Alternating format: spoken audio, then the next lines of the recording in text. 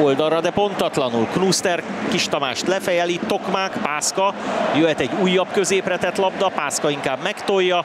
Most a beadás, ez nem is rossz, és ott a gól Zakariassen. 94. perc.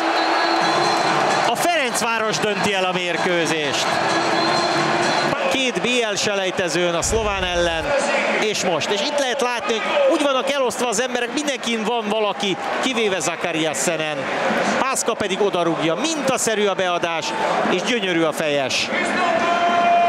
1-0 a Ferencváros javára. Nagyon-nagyon későn ér oda a védő. Komáromi most maradt le tulajdonképpen először.